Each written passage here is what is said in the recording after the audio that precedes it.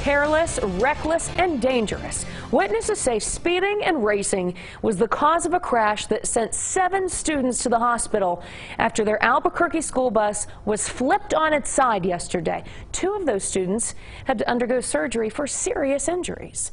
Today, when we went back out there, pens, pencils, markers, even a, a student's broken glasses just cover the ground at this intersection in southwest Albuquerque. Police have now charged 49-year-old Mario Perez for crashing into that bus, and they say he was potentially going 60 miles an hour over the speed limit in that area. We don't have his mugshot yet because he's still in the hospital recovering from a broken leg in that crash. And police are still looking for whomever Perez was racing. But today, his wife is speaking out in his defense, blaming the school bus. Kai Porter spoke with her. Kai, sounds like Perez should know that neighborhood pretty well. Yes, he should, Tessa, because Perez was allegedly street racing through his own neighborhood. Court documents reveal that he lives just a few houses away from the intersection where this crash happened. And that's where I spoke with his wife this morning. This the home of Mario Perez? It is. A woman who identified herself as the wife of Mario Perez answered the door, then answered some of our questions. We just wanted to stop by. I know he's still in the hospital, but wanted to see if you guys have anything to say on his behalf. Um, we're covering the story of the crash he's accused of causing. Um, I don't know. He's not. He's not at fault.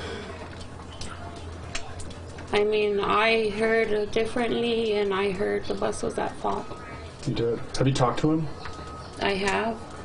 What did he say about what happened? I'm, I'm not going to comment on anything he said. Despite what she told us, police say Perez was at fault.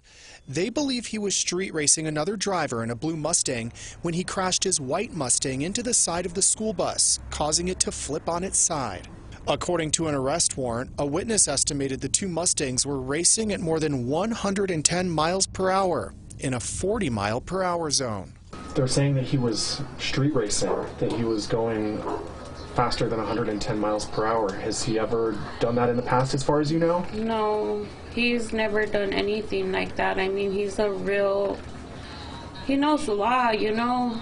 He loves his car, but he's never to hurt anybody or anything. He's always been really careful about everything. And today we did an online search of public court records for Perez. We did not find any serious criminal history, just a misdemeanor speeding charge from seven years ago.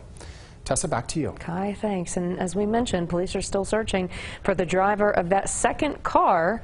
The suspect is accused of racing. A witness reportedly told investigators she saw two Ford Mustangs racing down Gibson. As Kai pointed out, they estimate at more than 110 miles per hour.